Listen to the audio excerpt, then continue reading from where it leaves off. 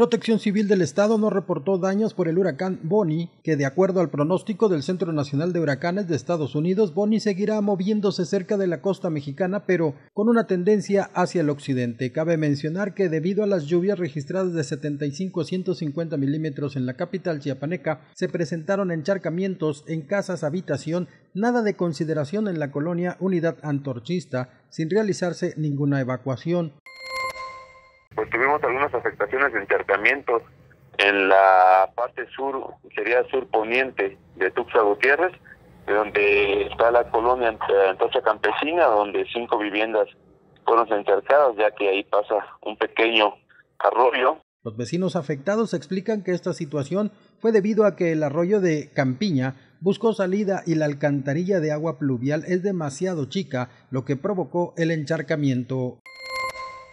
Tuvo que buscar salida, como se llenó la calle de aquel lado, tuvo que buscar salida, pues el, agua, pues aquí en medio de la casa.